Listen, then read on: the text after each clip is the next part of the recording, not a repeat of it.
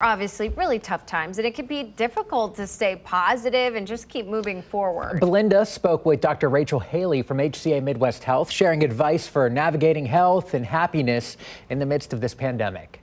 If you're watching this right now and you feel like you're constantly going to the refrigerator, you are not alone. In fact, we're seeing that all over social media. But how do we still continue to put our health first, maybe in terms of snacking? I can relate to that as well. Uh, you know, in the beginning, I think there was this mentality that the world is ending. I'm going to eat what I want. And now I think a lot of us are just eating out of habit. But with winter coming, uh, we need to fight those pandemic pounds by breaking those habits.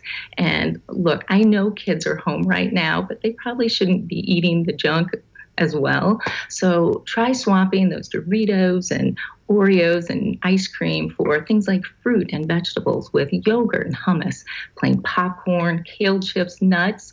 And when the urge and craving comes on, try filling up with water and going for a quick walk or jog or even doing some stairs just to get yourself out of the kitchen. You know, why is drinking water more important now than ever? Well, first, as you may have also seen on the internet, there's no evidence to suggest that drinking lots of water flushes COVID out of the body. But you know, promoting good health is vital right now, and drinking adequate amounts of water every day to prevent dehydration is important. And Dr. Hailey, the pandemic has forced us to give up many activities that were once a given, but what about delaying doctor's appointments? So many of my patients are afraid to go to the hospital or the doctor's office because of COVID-19.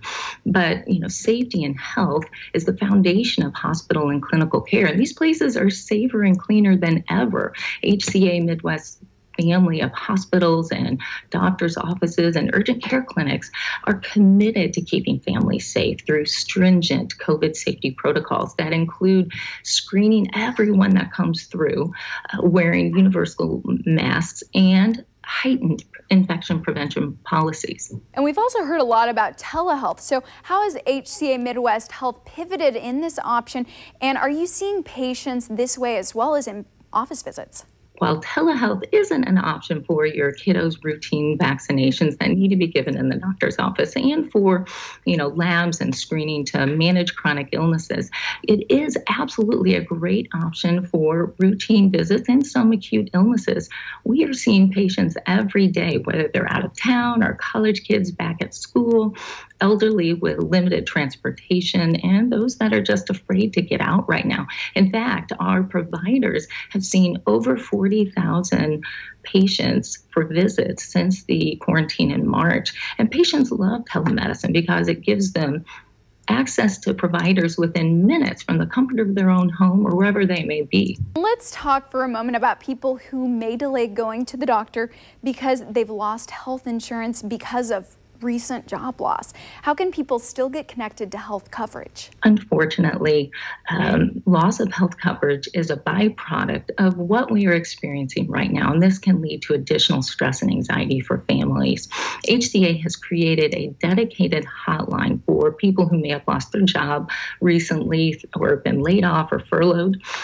And we don't want people to delay healthcare because of fear of financial issues. So this is a free hotline. Uh, it's a service to the community. So don't delay health care for the fear of financial issues. Call the Uninsured Patient Advisor Hotline. It's free and that number is 833-541-5757. It's open Monday through Friday from 9 a.m. until 7 p.m.